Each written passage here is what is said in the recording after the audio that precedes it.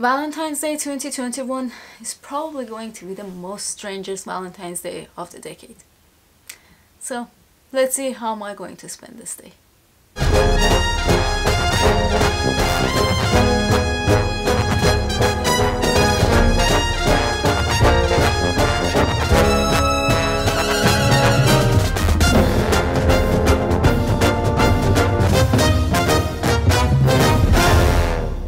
Welcome back to my channel. I'm Tara Vahab, I'm an artist and on this channel I share contents relating to living a healthy and successful creative lifestyle. You know, I've been thinking about this whole pandemic and the fact that we've been sitting at home. I don't know, wherever that you are things might be different but it's been a strange year so far. Last year was strange, this year is even stranger and I was thinking of things that I want to do and I really just want to have fun. I feel like I'm I'm getting numb by staying at home and just working and it feels like we don't have any fun whatsoever at all. So anyway, my intention for this video is to really have fun and I hope that you would enjoy watching this video so the things that I'm going to be doing, I really want to dress up because it's been about 11, 11 months now that I haven't gone out to any kind of party or get together with friends so I really miss just dressing up. And then after that I'm gonna do something relaxing and sensual. So I was thinking of taking a salt bath with some essential oils and Ooh. candles. I don't know. I'm just gonna make it as romantic as possible. And then after that, I'm gonna go for a walk.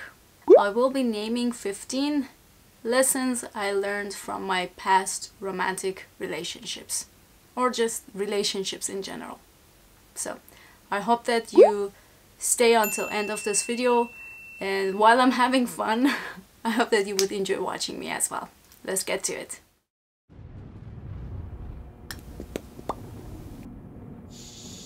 Okay,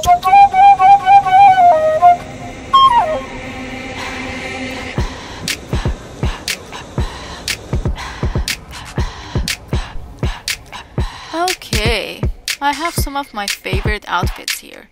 My Canada Day outfit, my black classy pleated dress, pleated skirts, white and patterned, my blue dress, a burgundy dress, and Tara Vahab's newspaper dress, which is sold out, but I'm making another one.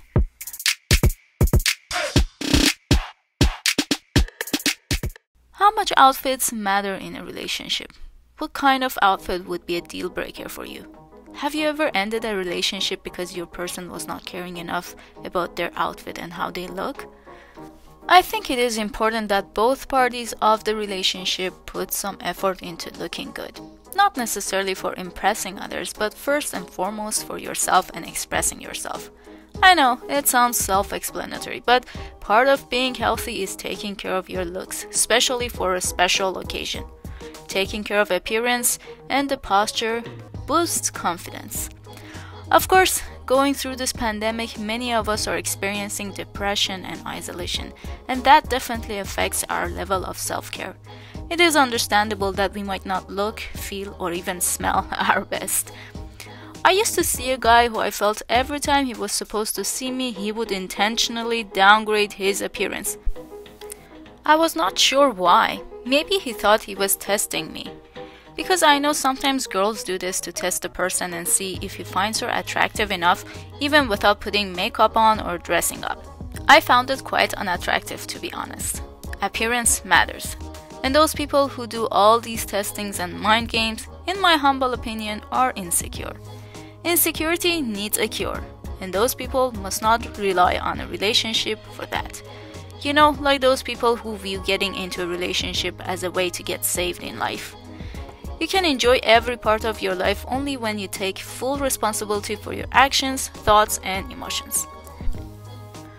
On the other hand, there are those types of people who all they care about is appearance. They are most likely not caring about what you are talking about, while mentally calculating your bra size, or they are eagerly inviting you to specific gatherings just to show off. Well, that is also very unattractive.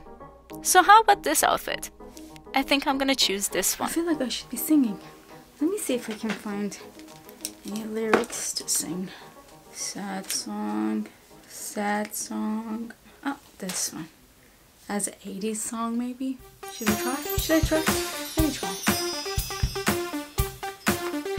If I don't see you, make me notice you. Now I free you. Surprise me, darling. Impress me, darling. Okay, I think that was good. Now let's move on to my next activity. Now I want to do something more relaxing. I was going for this kind of look, but I ended up with this. and it is okay. We are in a pandemic still, and I use what is available to me without me making too many trips to a store. I made a video about self care and self love last year, and I really emphasized on the fact that we need to make time for ourselves and not wait for someone else to come in our life to make us feel special. Make it a ritual, if you will. For some people, taking a salt bath, buying flowers for themselves, or doing different activities by themselves may sound silly or waste of time, money, and products. But you won't know it unless you take the action and experience it. It might even feel like it is a lot of work to do, but it's good to know how it would feel like if you do all of this work for yourself and then what it would mean to you if one day you are going to offer this as a gesture of love and care to someone else.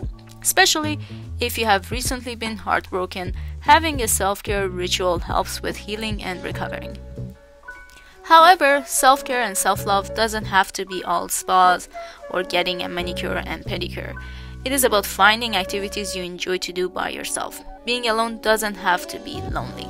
They say introverts are better at being alone and doing these activities, while extroverts find it difficult and they usually prefer to be in a social situation even for healing. But you don't have to be an introvert in order to enjoy spending time with yourself. So I'm going to take a salt bath with some essential oils and candlelight and have a fancy drink, some nice and relaxing music and enjoy myself. Taking a salt bath is a great way to recharge yourself. I'm going to use Epsom salt. Epsom salt or magnesium sulfate is used on a widespread basis to provide relief for a variety of conditions. These include skin irritation and inflammation, sore feet, sore muscles, sprains, stiff joints, stress, and sunburn. Alright, so I'm all ready for my salt bath. I have prepared everything. I have my Epsom salt in there and some of this rose aroma. Mm -hmm. And, oops, oops, I have this homemade sour cherry wine that I'm gonna try. Mm. Well, I'm gonna enjoy and relax. Do not try to take a salt bath if you have an open wound or skin rash. So, why am I taking this salt bath? It is worth to mention that if you want to achieve anything significant in life, you absolutely need to practice deep relaxation and resting on a regular basis. So, if you're single or not, and watching this video and wondering when you're going to finally meet your significant other or finally have whatever it is you feel you deserve to have in your life, I tell you that you will have it all when you deeply relax and happily take care of yourself. When you are well rested and relaxed, you can think more clearly. When you think clearly, you make better decisions and take better actions. When you take better actions, you feel much better about yourself and your life. You know, at the beginning of the lockdown, I told myself I'm gonna come out of this pandemic even healthier than before. Because before the pandemic, I was still struggling with my recovery from a car accident I experienced five years ago. And healthy to me means feeling good, about my body, having a balance of exciting thoughts and emotions, which creates my mood, character, and personality. So here I am. To be honest, it was kind of weird recording myself in a bathtub, but now I'm well rested and I'm going to go to my next activity.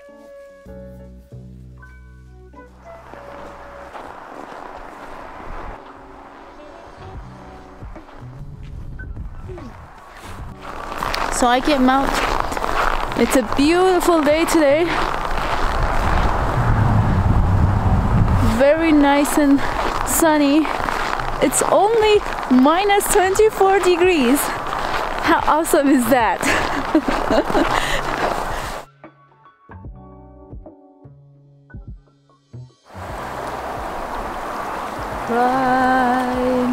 River, I'm not believing. You wanted to be my man. Love, love, and love. Have you ever noticed all we sing about is love? What is love? What is love, baby?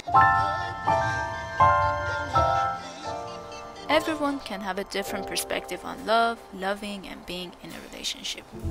Based on DNA, family history, social status, financial situation, culture, our generation, the first romantic encounter can all play a role in how one bonds with another and loves. I think relationships are like plants. They need to be watered and maintained regularly, and when we, for whatever reason, neglect to do so, we lose those plants. They dry out and we lose those relationships. Some people use getting a job analogy to view finding, getting into, and maintaining a relationship. Although I do not like this analogy, to some extent it makes sense. When one is applying for a job, they have to back their promises with their resume, education, and past work experience. They also have to consistently show up at work or they don't get paid. I've heard many love stories of friends and strangers confiding in me or seeking counsel. So I decided to make a list of 15 lessons I've learned from each of my romantic relationships as well as observing conflicts within other people's relationships. Let me know if you relate to any of them in the comments below. So, number one, do not promise something you cannot deliver. If you talk about it, make sure to back it up with actions. Number two, slow and steady always wins the fast and fiery passion. Number three, do not be shy with what you desire and be honest. If we cannot agree or accept our differences, the quicker we part, the faster is the recovery time. Well, oftentimes, not always. Number four, it is okay to be confused and not knowing clearly what you want, but make sure to communicate this right at the beginning. Number five, it is possible to draw boundaries and bonding healthy in a short amount of time. This is for more mature individuals. Number six, do not wait for the other person to tell you what they want before you tell them clearly what you want. Number seven, if you want commitment and consistency, communicate and demonstrate it yourself first. Number 8.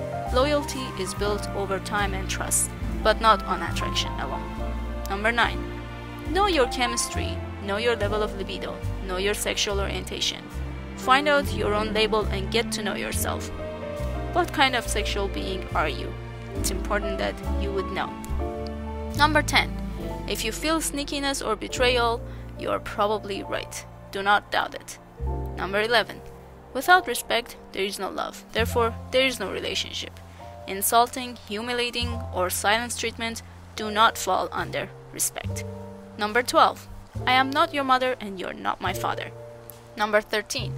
If we don't talk it out, everybody else will talk it out for us behind our backs. It is not about who is right, but what is right. Number 14. If you're not terrified of expressing your interests or how this relationship will work out or if it will end, then you're not truly in love. So you overcome the fear for love. Which leads to number 15. Some people commit suicide if their love confession is rejected, but most people survive the rejection, after which they realize who they truly are by seeing different facets of themselves. And a very small group experience spiritual growth beyond their own understanding. Which leads to my bonus lessons, number 16. You can love someone a lot but not be in love with them. Sometimes that's what compatibility is. And for the fun of it, lesson number 17. Long distance relationships are most likely a myth. Remember the movie Her? She kept updating and upgrading. Nobody could be with her forever. And to be good and expert at love, you need to learn only 984 other lessons. After you establish your self care ritual and feel relaxed, I think it worth to take some time and reflect on what exactly you want from your love and relationships. Whether you are single or in a relationship, do this simple exercise. Write down everything you view as a perfect relationship. Use this note as an affirmation. I've been recently reading Kahlil Gibran's books and I found a few quotes on love that I agree with and I would like to share with you. He says, Love possesses not, nor it would be possessed. His ways are hard and steep. And think not you can direct the course of love. For love, if it finds you worthy, it directs your course. On the subject of fulfilling marriage, in his book The Prophet, he says, You were born together, and together you shall be forevermore. Love one another, but make not a bond of love. Fill each other's cup, but not drink from one cup. Stand together, but not too near, for the pillars of the temple stand apart. I personally very much resonate with this quote when he says, And some of you have called me aloof and drunk with my own aloneness. And you have said, He holds counsel with the trees of the forest, but not with men. He sits alone on hilltops and looks down upon our city. True it is that I have climbed the hills and walked in remote places. How can one be indeed near unless he be far? We can all benefit from these classic words of wisdom that never get old. And I think love is never lost, and no one should ever give up on love. Out of 7 billion people living on the earth, it is almost impossible to believe that you won't be able to find someone, if not once, or someone finding you who you would love and they would reciprocate your love. I hope that you enjoyed watching this video. I wish you a happy and safe Valentine's Day 2021. If you like this video, please hit the like button, subscribe to my channel and hit the bells so you will be notified when my next video is released. Thank you so very much for watching. Goodbye till next video. And no one is wrong receiving your love, even if they end up breaking your heart.